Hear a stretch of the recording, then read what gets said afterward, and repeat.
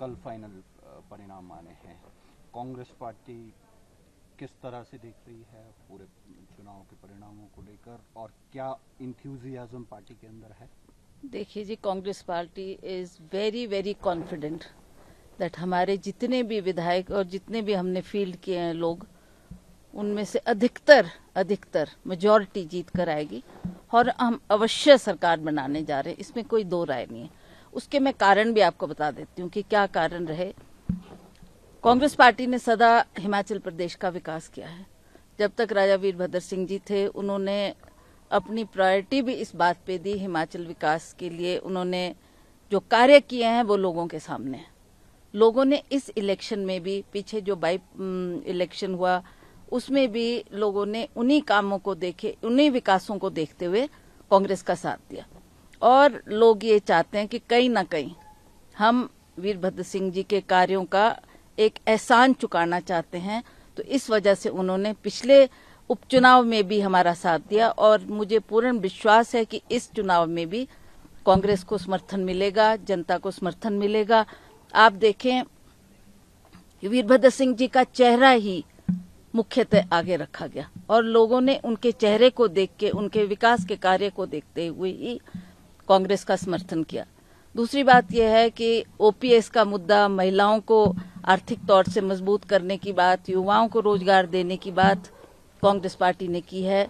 और मैं, मुझे लगता है कि एक बहुत बड़ा मुद्दा था जिसको बार बार बीजेपी के पास भी ये लोग जाते रहे, पर इन्होंने इस बात को नजरअंदाज किया।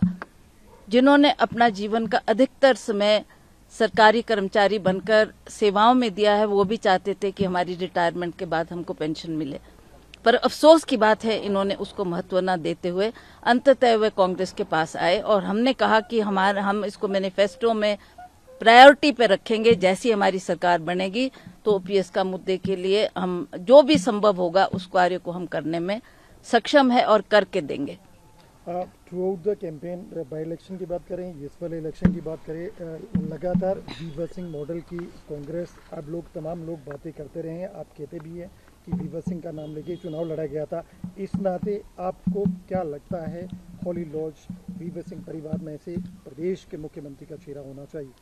देखिए, इस बात को नजरअंदाज नहीं किया जा सकता कि वीरभद्र सिंह का परिवार, जो कि इस इलेक्शन में भी जिन्होंने अहम भूमिका निभाई, श्रीमती सोनिया गांधी जी ने इसी बात को देखते हुए, इसी बात को मद्देनजर रखते हुए मुझे पार्टी का अध्यक्ष बनाया और मैंने भी अड़सठ के अड़सठ हलकों में जाकर कांग्रेस पार्टी के लिए प्रचार किया है और उनको बल देने के लिए, उनको मजबूती देने के लिए जो मेरे से संभव हुआ मैंने कार्य किया है। तो इस बात को ध्यान में रखते हुए आप वीरभद्र सिंह की लेगेसी को, उनके परिवार को नजरअंदाज नहीं कर सकते और मुझे लगता है कि ये आने वाले चुनाव में भी जितने भी हमारे कैंडिडेट्स जो जीत कर आएँगे, उनका भी यही मानना है।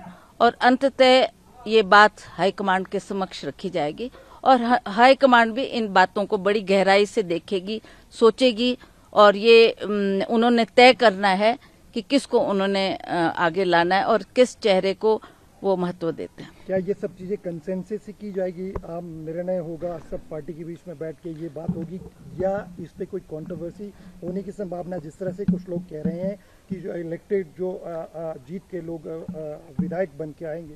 उनमें से ही मुख्यमंत्री के चेहरे होना देखिए तो ये, ये बात तो मैंने कल भी क्लियर की कल भी क्लियर की है कि वीरभद्र सिंह जी भी दो बार जब मुख्यमंत्री बने तो वो भी मेंबर ऑफ़ पार्लियामेंट थे। मेंबर ऑफ़ पार्लियामेंट थे पर जनता ने चाहा उनके विधायकों ने ये चाहा कि इस बाग देश की बागडोर को उनके हाथों में सौंपा जाए।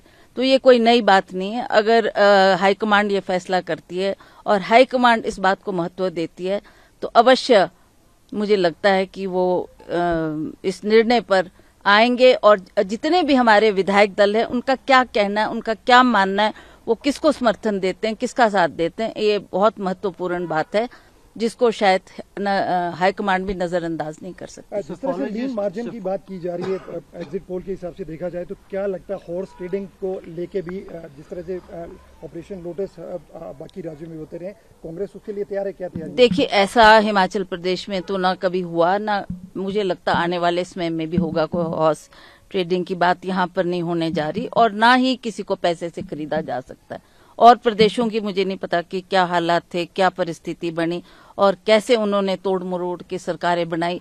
पर जहाँ तक हिमाचल प्रदेश की बात है आप सब जानते हैं हिमाचल प्रदेश के लोग अ, सच्चाई का साथ देने वाले ईमानदारी का साथ देने वाले हैं और जिसको वो चुनते हैं जिसको वो विधायक बनते हैं बनाते हैं उसको उनकी बात को भी वो नजरअंदाज नहीं कर सकते ऐसा मेरा मानना है। तो यहाँ कोई ऐसी म, पैसे से खरीदने की बात नहीं होगी हॉर्स ट्रेडिंग की बात नहीं होगी और मैं समझती हूँ कि जो विधायक चुनकर आएँगे उनको बैठाकर उनसे जो ऑब्जर्वर आए हैं दिल्ली के हाई कमांड ने बड़े बड़े लोगों को यहाँ पर चाहे वो हुडा जी है चाहे वो छत्तीसगढ़ के चीफ मिनिस्टर है वो आए हैं वो उनसे भी व्यू लेंगे उनसे भी बातचीत करेंगे कि क्या उनका मानना है।